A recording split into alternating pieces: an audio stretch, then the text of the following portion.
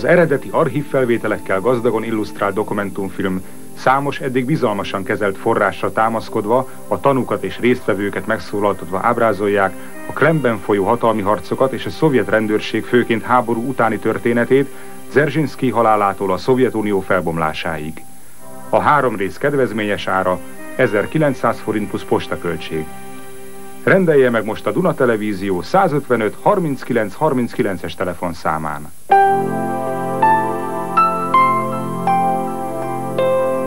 Kényelem és elegancia. Az új Citroën Xantia. Hogy még kényelmesebben autózhasson, bizonyos modellekre több mint fél millió forint értékű extra felszerelést kap ajándékba, ha február végéig választ magának készletünkből új Xantiát. Drágám, Kaligulát ma te viszed sétálni. Mielőtt ágynak dönteni a betegség, aspirin cépesgő tabletta. Gyorsan és hatékonyan enyhíti a megfázás kezdeti tüneteit, és megelőzi a komolyabb tünetek kialakulását. Emellett pótolja a C-vitamin hiányt is. Aspirin cépesgő tabletta a Bayer-től. Hűlt helye a meghűlésnek. Hmm. A tej csomagolása nem volt mindig barátságos. Az új mizotop merőben más. Könnyen nyitható és visszazárható. A friss tej minden cseppje oda jut, ahová kell. Mizotop az igazán barátságos csomagolás. Júj, júj.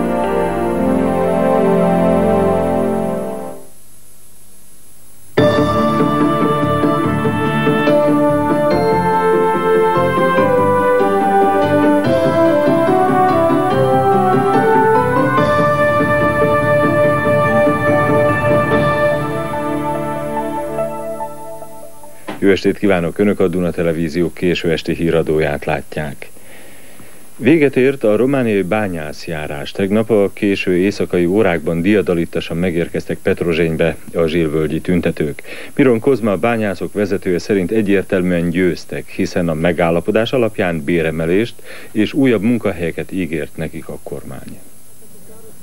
Kozma egyben azzal fenyegette meg a sztrájktörőket, hogy árulásukat a fizetésükön fogják megérezni, a mellette végig kiálló tüntetőbányászoknak pedig 10%-os fizetésemelést ígért.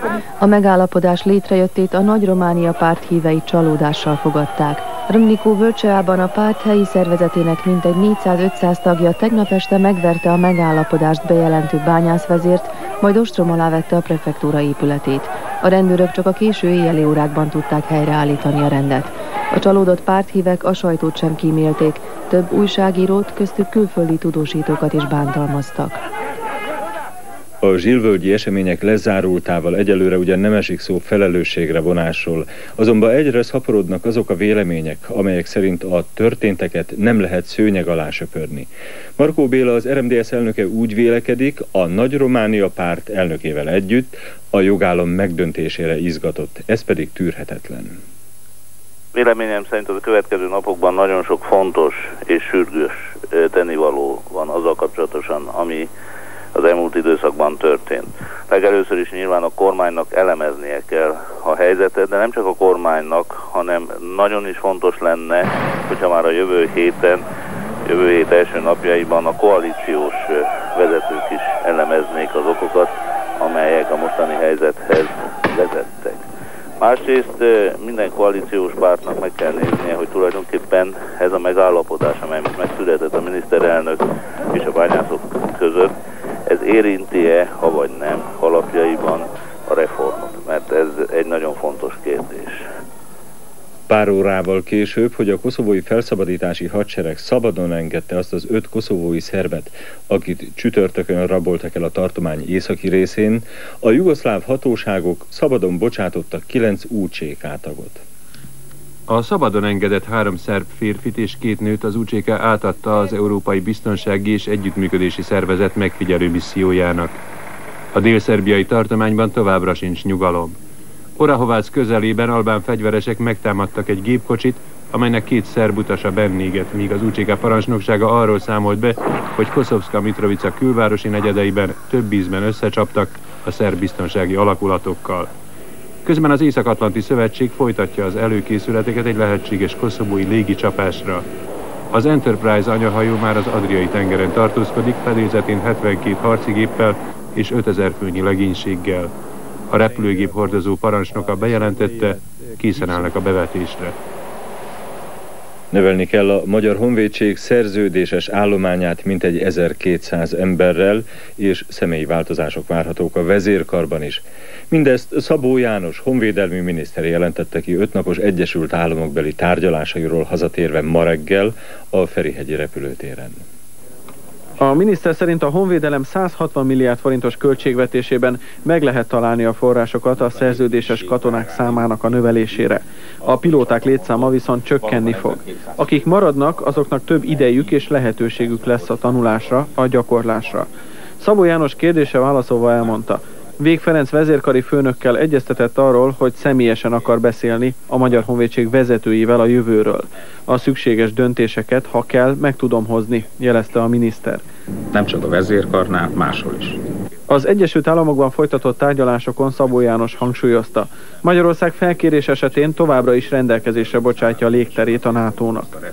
Természetes, hogy ha valamilyen beavatkozásra sor kerül Koszovóban a NATO részéről, akkor Magyarország ezen határozat alapján felkérésre a légterét korlátva rendelkezésre bocsátja. A megbeszéléseket értékelve a miniszter úgy látja, Magyarországra NATO tagként is számítanak a békepartnerségi műveletekben. Jelenleg a Magyar Honvédség 500 katonája 16 misszióban teljesít szolgálatot. A katonai szervezethez való integrálódásban a döntő lépés sem sokat várat magára. Elhangzott olyan vélemény is, hogy legkésőbb március közepéig a NATO tagjai lesz. A múlt erői az új kormány hivatalba lépésének első napjától kétségbeesett szellemi polgárháborút folytatnak a demokratikusan megválasztott polgári kormány ellen, jelentette ki Szájer József. Minden társadalmi pozíciójukat és szellemi erőiket arra összpontosítják, hogy az emberek bizakodását megtörjék. A politikus szerint a mai ellenzéktől az sem áll távol, hogy az ország legelemibb nemzeti érdekeit, nemzetközi jó hírünket tudatosan kockára tegyék. A Fidesz parlamenti frakciójának vezetője ezt a hétvégi Fidesz választmányi ülésén jelentette ki. A Fidesz jelenleg 15 ezer taggal, 494 helyi szervezettel rendelkezik, és évi költségvetéseként a választmány 600 millió forintot szavazott meg.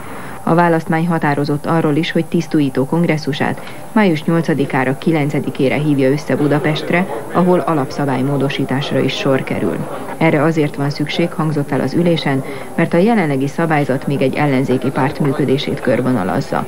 Májusban, mint ahogy azt a Fidesz szabályzat előírja két évenként, a párt vezetőiről is szavaznak. Nem hiszem azt, legalábbis az előzetes várakozások szerint, hogy az elnökség kicserélődik jelentős mértékben. Azt azt hiszem elmondhatom, hogy várhatóan Orbán Viktor lesz az egyedüli elnök jelölt.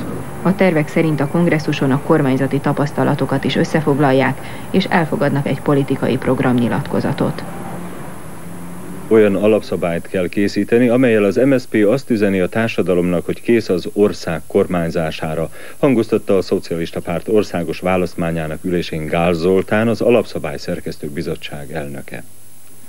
Az MSZP új alapszabályának meg kell őriznie a párt demokratikus működési rendjét, ugyanakkor alkalmazkodnia kell a többpárti demokráciában meglévő versenyhelyzethez, összegezte a legfontosabb alapelveket Gál Zoltán a választmány ülését követő sajtótájékoztatón. Hozzátette, az MSZP hosszú távon lesz közjogi tényező, ezért úgy kell működnie, hogy képes legyen az ellenzéki vagy kormánypárti szerepéhez illeszkedő politikát kidolgozni. Földes György választmányi elnök egy újságírói kérdésre reagálva úgy vélekedett, már csak az ellenségkép az, ami összetartja a koalíciót.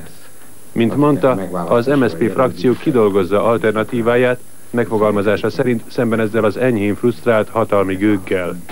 Az új alapdokumentumot egyébként várhatóan az őszi pártkongresszus hagyja jóvá.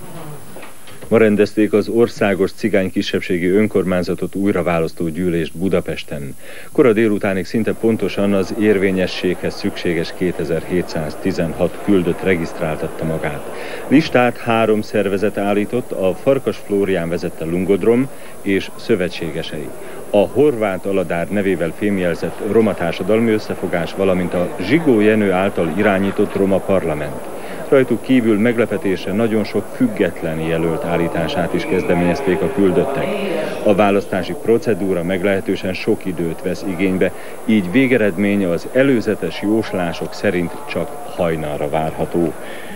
Nagy vitát váltott ki az a tanulmánykötet még 1997-ben, amelyben művészek, tudósok vallanak az értelmiség társadalom átalakító szerepéről.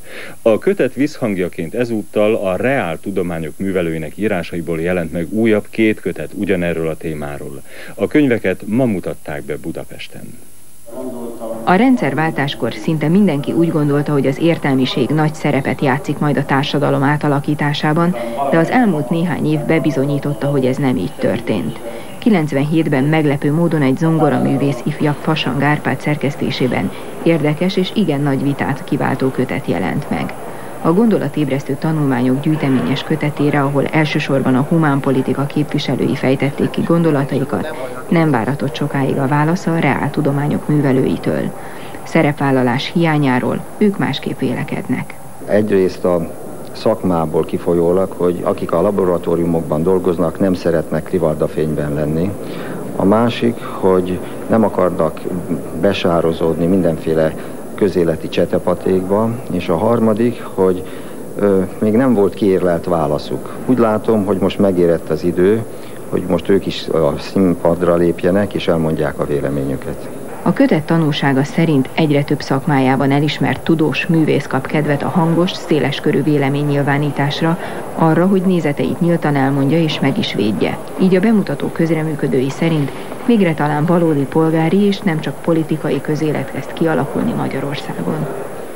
Ezekben a napokban készítik az önkormányzatok költségvetésüket és kiadásait a legtöbb esetben hatékony energiatakarékossággal csökkenthetik. Ehhez nyújt pályázat úján, útján szakértői támogatást a Gazdasági Minisztérium Fár Energia Irodája. A Gazdasági Minisztérium és Nyergesújfalu önkormányzata szerződést írt alá arról, hogy fár támogatással 10 hónapon belül elkészül a Dunántúli kisváros energiahatékonysági programja. A FÁR iroda tavaly pályázatot írt ki a városok részére úgy, hogy nem pénzösszeggel támogatja az önkormányzatokat energiatakarékossági intézkedéseikben, hanem energetikai szakértőket küld az ország tíz városába, így Nyergesújfalura is, hogy a helyi szakemberekkel kidolgozzák a település energiakoncepcióját és takarékossági akciótervét. Az iroda segít a hazai és nemzetközi pályázati források felkutatásában. Nyergesújfalun lakásonként mérhető, korszerű melegvizes távfűtést kívánnak megvalósítani. Ezer távfűtött lakásból jelenleg 200-ban mérik a fogyasztást, és bebizonyosodott, hogy a lakók jobban takarékoskodnak így a meleggel. A város saját fűtőművet szeretne, függetlenedni akar a külföldi tulajdonban lévő vállalkozás fűtőművétől. Külön figyelmet szentelnek közintézményeik energiafelhasználásának annak csökkentését remélik az ajtók-ablakok cseréjétől. A dinamikusan fejlődő kisváros közvilágítását is a takarékosság jegyében szeretnék korszerűsíteni. Mexikóvárosba érkezett második János Pál pápa. A Szent Atya négy napot tölt a közép-amerikai országban, ahová most negyedik alkalommal látogatott el. Második János Pált ezrek fogadták a fővárosban. Megérkezésekor mondott beszédében sikereket kívánt a mexikóiaknak a valamennyiük közötti egyetértés keresésében, amelyel a kormány és a csapaszi gerillák közötti konfliktusra utalt. A pápa a Mária kegyhelyen bemutatott mise után a püspöki javaslatokat összegző dokumentum felolvasásával befejezetnek nyilvánította az első amerikai színódust, amelyet 1997-ben tartottak a Vatikánban. Az egyházfő megbeszéléseket folytatott Zedillo elnökkel Mexikóváros